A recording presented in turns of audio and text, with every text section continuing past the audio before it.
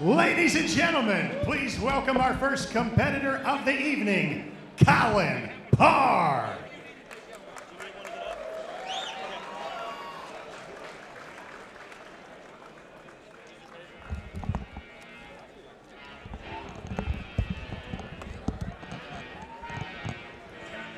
Good evening, ladies and gentlemen, and welcome to Shamrock FC 357. Jeremy Johnson along tonight with Brazilian Jiu Jitsu black belt Adam Meredith. Now, starting off the night, we are going to move to a grappling card. Now, our grappling are three minutes submission only. If there is no submissions within the time limit, this match will be declared a draw. Now, making his way into the cage is Colin Parr, Brazilian Jiu Jitsu black belt with over 14 years of combat experience.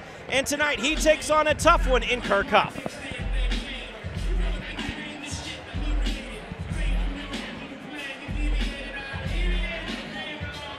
And his opponent, Kirk Huff.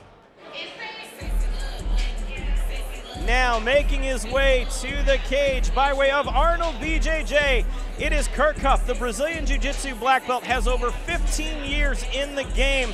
The former pro MMA fighter is just one of those who lives the Brazilian Jiu Jitsu lifestyle. Yeah, I mean Kirk's been in the game for a long, long time, as, as Colin has as well. So this is this is an exciting matchup between these two.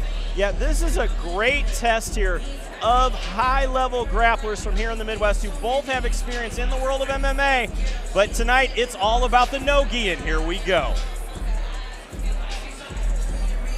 Ladies and gentlemen, tonight's opening matchup is a submission grappling contest, and it's set for one five minute round. In order for a competitor to leave this cage victorious, he must submit his opponent within the allotted five minute time limit.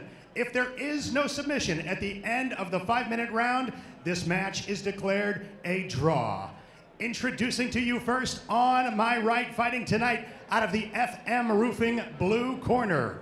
He stands 5 feet 10 inches tall, official weight 184.8 pounds. Fighting out of Pocahontas, Illinois, Colin Clean Parr.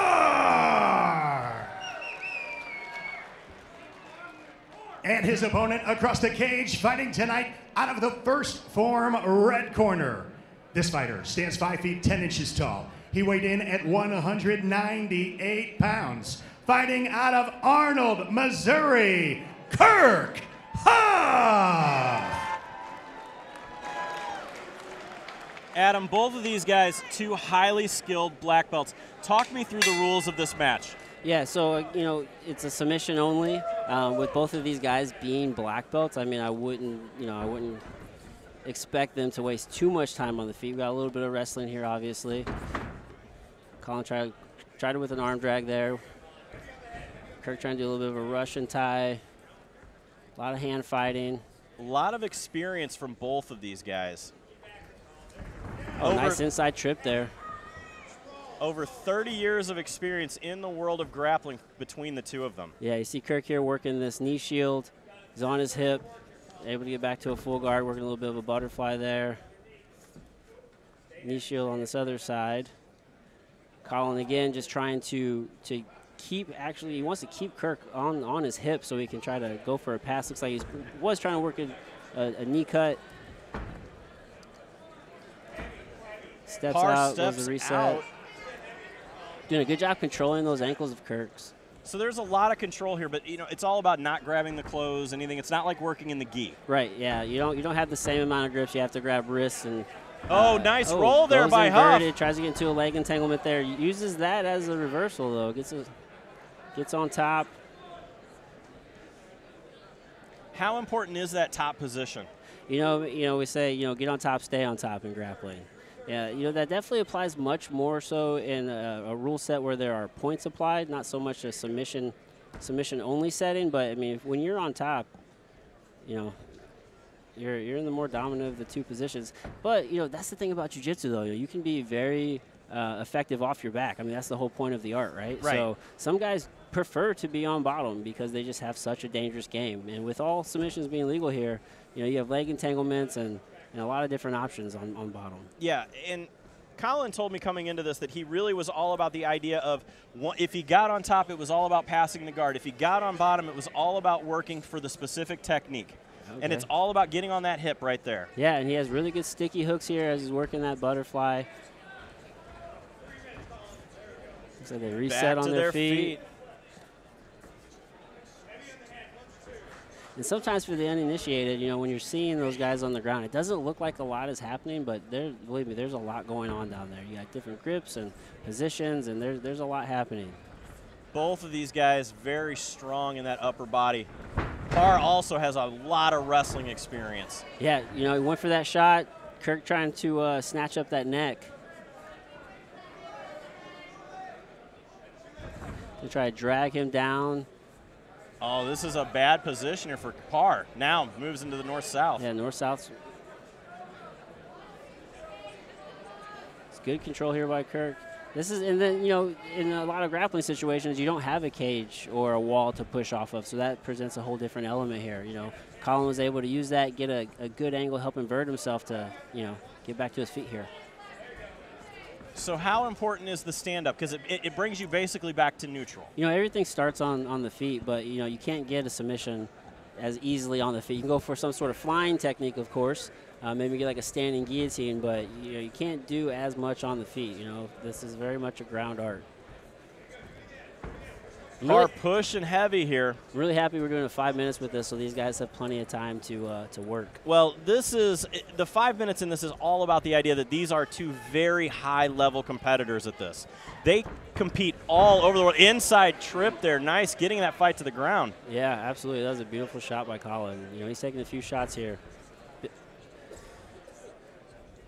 going for the pass, and again, you know, when you're passing, you have to get around those legs, which can be be very tricky at times, especially when you got high level guys. Kirk with the sweep there. Gets on top. Colin, you know, just yeah. working that knee shield. That knee shield is going to help control the distance and the spacing. Kirk's going to have to get on the inside of that knee. We're going to have to get on top of that knee so he can he can flatten that out and, and start passing. He's working. A lot of aggression here coming out of Huff. Huff out of Arnold BJJ here in St. Louis, Missouri. That's his own gym there. Colin Parr coming out of Watson's Martial Arts uh, under Kyle Watson. Both very decorated athletes in, in their own. Yeah, you see, see, they're just wrestling, fighting for head position.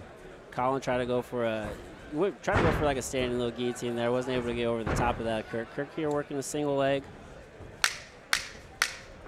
Down to less than seven seconds remaining here. Parr looking for that inside trip. He's had a lot of success with that inside trip. Now he's working that that single leg on the cage is going to be tough. Again, you know, Kirk's experience in the cage, that's not a, a, a new position for him. No. So a great display here of high-level grappling here at Shamrock FC 357 to yeah. kick off the night here. Of course, we have a ton of mixed martial arts and kickboxing action, all the combat sports going down. But right now, let's send this one up to the cage to Joe Parisi to make it official.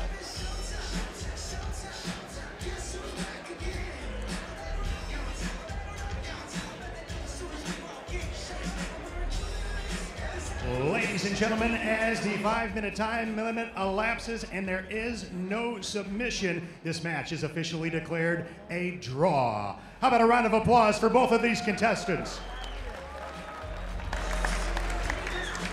A great match there out of both of these gentlemen, Colin Parr and Kirk Huff.